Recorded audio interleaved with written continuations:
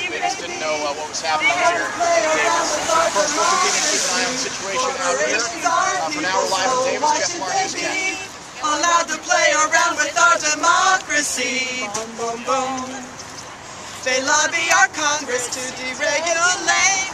Homeowners didn't find out until too late. Monsanto ain't a person, so why should it be allowed to play around with our heirlooms? Monsanto ain't a person,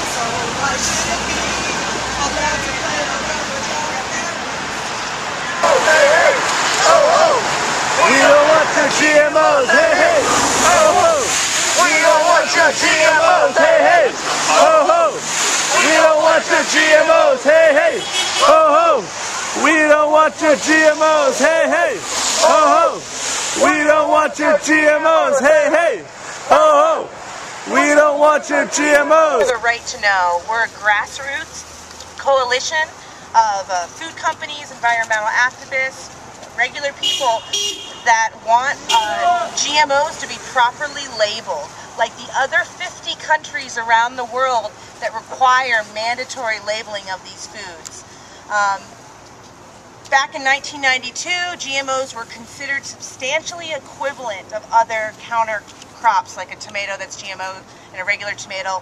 They, they feel that it's the same. I do not feel that it's the same when you're you're going in the World Health Organization definition of a genetically modified organism is when you alter the genes um, in an unnatural way. So it would never occur in nature. So I'm here with labelgmos.org and we really, really need everybody's help to go to labelgmos.org and to sign up to volunteer. That's not going to commit you to 50 hours a week. That's going to get you in touch with your local organizer from your county and they're going to let you know where the trainings are and the meetings are. Um, the ballot initiative process is um, you have to fill out the forms very correctly so that they count. We need 850,000 signatures. We only have about six weeks left, so we need everybody here to go to labelgmos.org, sign up to be a volunteer, and then take these uh, ballot initiatives to your church, to your job, to your school, to your social organization and get a couple signatures here and there. This is really grassroots. This is our opportunity. I personally lived in Washington and tried to get our Congress members and our elected officials to listen to us. Well, guess what? They're bought out by Monsanto and these large corporations.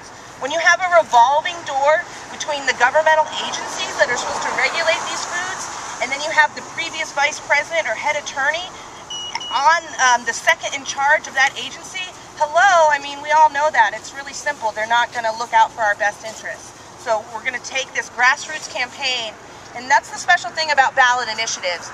Once we get the needed signatures, this will be placed on the ballot in November, and then we can vote on it in California. And the only way that they can overturn this is through another ballot initiative. So it's really, really important. I know you guys all have love in your heart for a free society, and that's why you're here today in the rain um, to, to, let Monsanto kn to know that we want them out. So use that energy and help us gather the needed signatures so that we actually have an option of voting on this in November. It's really, really important.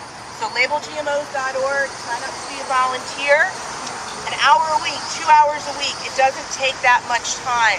I bring it everywhere I go now. When I'm pumping gas and I'm waiting in line, I talk to the person next to me. Hey, do you know what a GMO is? Can you just help us get it on the ballot? And a little thing when people are like, I don't want to sign, I don't sign anything. I sign an affidavit saying that I will not collect your name for marketing purposes.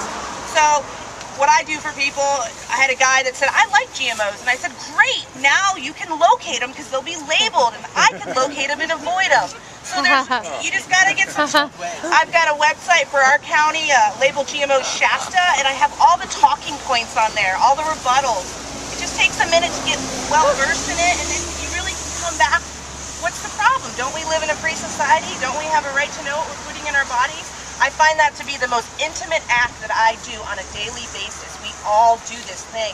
And this is the common thread that'll bind us and we can weave that that that blanket that is the humans. So um, I love all of you and I appreciate it. And please like us on Facebook, spread it, network it, send it out there. And then he, he before that he was the lead attorney with Monsanto. So then he goes to the lead attorney in the 80s with Monsanto. Then he goes to the FDA and he's with the FDA and he regulates these foods. And then he leaves Monsanto and he's the vice president of Monsanto in the later 90s. And guess where he's at today? He's our food safety czar under the Obama administration. Yes. So if you just follow the trail, you'll see, oh God, what a great Uh, thing. why would this ever, why would anything ever get passed? And that's why I'm here as a volunteer with a citizens ballot initiative because I see that our elected officials are their pockets are lined with these companies. So how will they ever listen to us? And when 80 to 95 percent of the U.S. consumers, a whole spectrum of people, want these foods labeled for the last 20 years, and yet year after year they do they percentage like puts bills every year and they get shot down. I drove to Sacramento and met with uh, my representative um, about the salmon being labeled, but he, he couldn't spend 30 seconds with me, you know? So that's why I'm here doing this because um, I see that there's we have to take back our government. We have to be active citizens. It's not even like anyone's trying to get anything banned. They're just trying No, and, that, and see that, and it speaks volumes to me that they're Why? fighting it so much. Why aren't you proud in your product? Are you not proud of your product? This is what you do. Are you not proud? Why are you trying to hold it back from consumers? And so you're you volunteer and you're coming. You came down from Shasta. I came from Shasta County. I'm a volunteer to um, help organize people in my county to collect signatures properly because you have to be very specific about the California ballot initiative process. Right. So I made a website. It's called uh, Label GMOs Shasta. You can Google it. It's a Google site. I don't know the exact site, but if you type into that, you can find it. It's the first one that comes up. So yeah, I'm I'm, lab- I'm organizing people in my county, uh, just trying to get people aware. And the thing is, it's grassroots. We need everybody to get trained and take one signature petition thing. They don't have to stand in front of grocery stores like I do. They can just go to their daycare, to their Rotary Club, to their Is there a number you got to get to on the eight signature? eight hundred fifty thousand by April twenty second Earth Day throughout the state. And then it'll be on the ballot, and um, it has been projected that Monsanto and the large biotech companies are planning to spend $65 million in opposition of this labeling campaign. And they've already created a committee. I don't know the exact name, but it's the committee for the costly cost of labeling. It's ridiculous. Um, companies change their labels all the time. Um, it's a lot of great, a lot of wa- a lot of washing that and trying to confuse consumers. And and it's another thing is when I'm out there talking to people, I'm not trying to tell you if you if GMOs are right or wrong. Personally, at this moment, I just want to get it on the ballot so that we have an option to choose. That's where I'm at. Like, what's the problem with having a choice? Don't we live in a free democratic society? Yeah. No, I feel you. Do that throughout the state, and then that'll get the, uh, it's called the, uh, the Genetically Engineered Food Act. And that would mean that any foods, uh, if it passes, you know, if we get it on the ballot, and, and then if it passes, then all foods starting in January of 2014 will be labeled if they contain GMOs. And it'll be a very small little label, just like in Europe. It's back to 15 people. We're not asking for a lot. My, my issue is it speaks volumes to the corporation like Monsanto that they don't want these foods labeled for them because they aren't they proud of their products? So because our elected officials seem to be in bed with these uh, corporations, if you look at the regulatory agencies that are there to regulate these, these foods, and when you have a revolving door between the said industry, so that's why I'm involved with this, trying to get labeling. Hi. Have you signed the ballot initiative? Okay. Wonderful. It just came out like three weeks ago, though. Okay. I know, but I mean, I can't believe anybody here wouldn't have already signed it. Yeah, I have gotten new people. Well, people just don't know about it, and that's why I'm trying to get people to go to labelgmos.org and sign up to be a volunteer. It doesn't mean you have to stop your life. It just means that you get trained on how to properly collect signatures. Everybody, like in our county, we have a restaurant that has a table set up, and the employees have been trained, and there's petitions there. I went ahead and set it up at my chiropractor's office, trained him. So to kind of connect in the circuits that we already have going of mm-hmm, people that mm-hmm. are aware and want to. What gives me hope is that they've been labeling for 12 years in Europe and now less than 5% of cropland in Europe is used to grow GMOs because we're hitting it where they're where the bottom line is Yep, for them, the yep, money. yep. So if you're a farmer and you grow GMOs, but then you can't move your product, the next year you're going to make a different decision, and maybe Mm-hmm. Yeah. you'll even go organic because that's what's moving. Yeah. Yeah. Yeah. So that's my whole theory is that we can push them out of the marketplace. Yep. Well, unfortunately, in Europe, organic is even more expensive than here.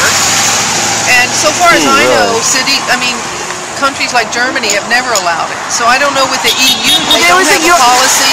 Europe had a moratorium for five years on five GMOs, years.